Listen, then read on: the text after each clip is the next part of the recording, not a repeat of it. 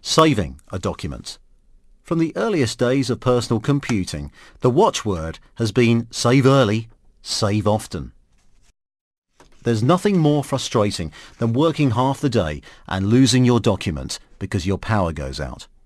So, here are some tips to protect your work from disasters data loss. Name and save your document shortly after you first create it. You'll see the steps to save in this session. Have a habit of doing a quick save with Control and S. If you're leaving your computer for an extended period of time, save and close your document. Now let us see how to save a document in Word 2007. Go to Office button. In that, click on Save button, which displays a Save dialog box. In that, type your document name and select your saving location and then click Save. Word does the rest. All you need to do is remember where you have saved your work.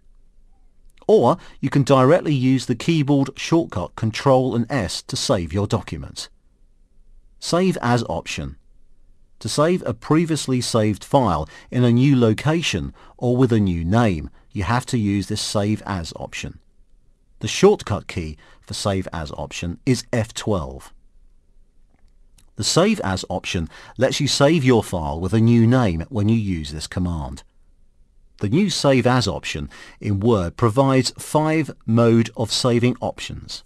They are Word document, Use to save the document in the default file format of Word 2007 .docx format.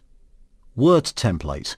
Use to save the document as a template that can be used to format future documents. Word 97 2003 document. You can save a copy of a document that is fully compatible with Word 97 2003 but Word can save files in over a dozen different formats. If you're sharing the file with someone who's using an older version of Word, then choose Word 97 2003 to save the document in .doc format. You have to decide yourself in which format you are going to save your file. Find add-ins for other file formats. Learn about add-ins to save to other formats such as PDF or XPS other formats. Use to open the Save As dialog box to select from all possible file types. In this selection list, you can select any mode of saving options which suits your requirement. Closing a document. After saving your document, the next process you will be doing is closing your document. For that, go to the Office button.